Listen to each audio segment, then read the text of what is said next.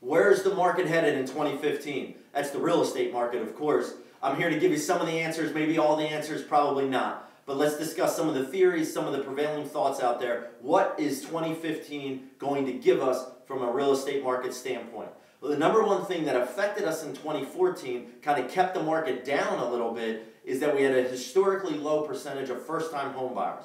Traditionally, first-time home buyers make up 40% of the market, roughly. 2014, uh, you know, we got a couple weeks to go, but we're looking at about 31 to 33% was their participation. That's too low. That drags the market down. All right, well, one of the number one factor, and there's a lot of theories going on, and I'm trying not to get all technical, but the thing about it was money was hard to get as a first-time home buyer. You may have heard the, heard the term FHA mortgage.